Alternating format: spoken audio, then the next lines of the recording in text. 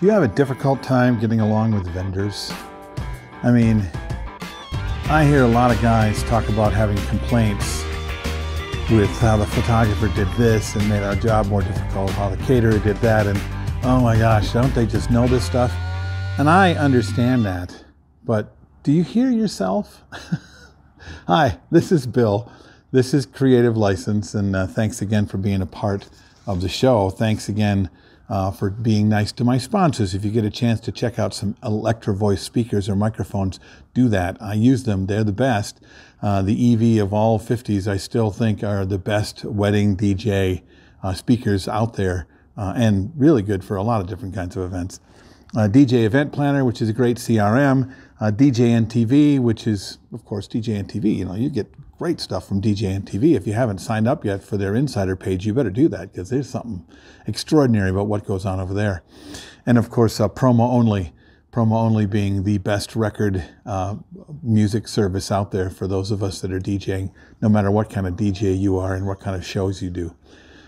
So, uh, anyway, um, I don't remember what I was talking about. Oh, there you go. That's I remember. I remember now.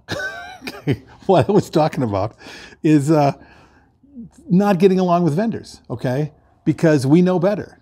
Because if they do their job poorly and don't take us into consideration, then things don't go well. Like the photographer who all of a sudden takes the bride and groom out of the building to go get a sunset shot because they think a sunset shot is that's the greatest thing ever.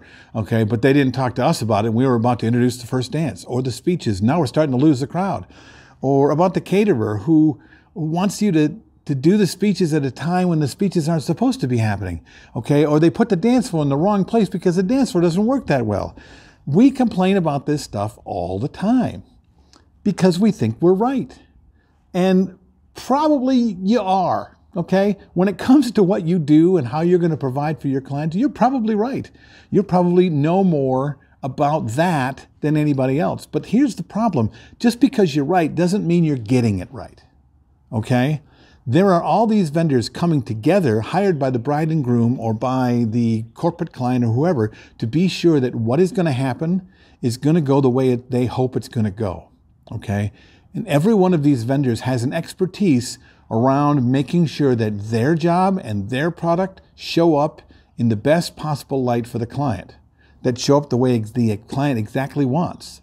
So for us to think that we're right and they're wrong, when we have zero idea about what the client really must have in mind is pretty arrogant, really.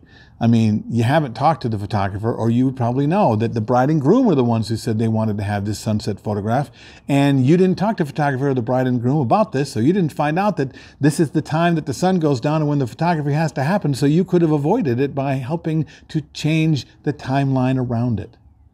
But you didn't do that, did you? You just got mad because they think they are better than us. They think what they have to do is more important than mine. That's just not true.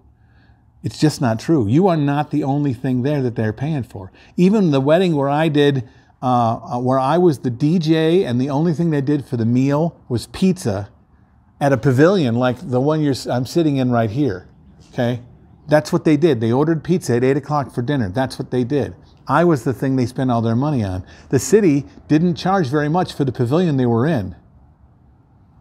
But for me to be arrogant enough to think that what I'm going to do will be the only thing that matters when it comes to the success of this event, over and above the food they are going to have delivered and when they're going to have it delivered and if they're going to want to sit down and eat and when the dessert's going to happen and when mom and dad are going to be there, all those things have to come together. So does you, so do you and the planner Oh, I know we have a problem with planners, but the planner is doing a lot of work here and trying to make sure that what the bride said she wanted, she gets. So she's the advocate, right? So if you're not talking to her, then all you're doing is complaining on the day of and you're fighting with those people on the day of, and that is bad for you. Trust me, it doesn't matter if you're right or not. What matters is that you get it right. So I would suggest that you take on that brand new way of think, seeing things the idea of not being right, but getting things right.